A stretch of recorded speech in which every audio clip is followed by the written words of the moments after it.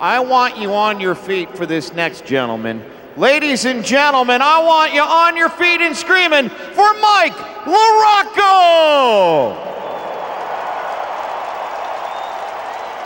Mike, I'll tell you, I think the cast kind of says it all. First uh, practice crash, possibly a broken arm. Uh, you're going to go back to California and get that looked at. Tonight was a big night for you. Uh, you got your whole family, uh, team members. Uh, you have something to say. Yeah, definitely, uh, definitely not the quite the terms I wanted to do it, but uh, you know, this year was going to be my last year, and uh, tonight I wanted to, you know, save it for Indy to announce my, re, you know, retirement officially. Um, however, uh, it won't be racing.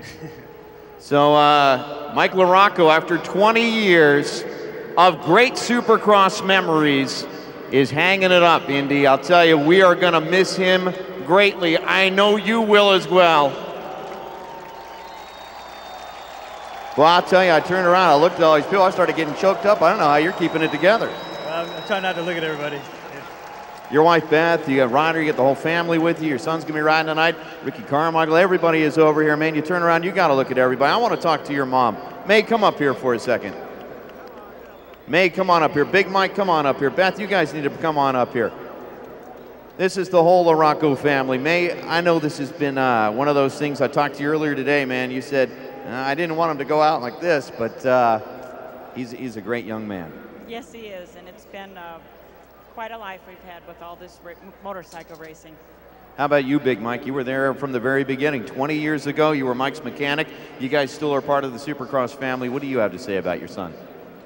Well, it's hard to say anything. It's it's something you don't believe that's going to happen this long. You know, very, it's really hard for anybody to get to this level and be here this long it, you know, it's something. I got to tell you, you are a great guy, Mike LaRocco. And uh, Beth, I can see you're choked up. I won't put you on the spot here. We have something here from the mayor of Indianapolis. The Office of the Mayor, City of Indianapolis, hereby recognizes and honors the dedicated service and outstanding contributions of Mike LaRocco. That is for you. I didn't figure it would get to me this bad, but man, I've known you this for the whole 20 years. Yeah, it's, it's definitely been an awesome ride. I mean, to uh, just to, to live what I lived and, and be able to ride motorcycles for a living, it's just been it's been a great ride, and I, you know I have no regrets. It's just been a, it's just been an awesome trip for me, and uh, glad to have spent it and you know all these great stadiums, especially here in Indianapolis, and uh, definitely gonna miss it. Indy, one more time, like I said, standing ovation for an all-around great guy, and Indianapolis is really his hometown for racing, Mike LaRocco.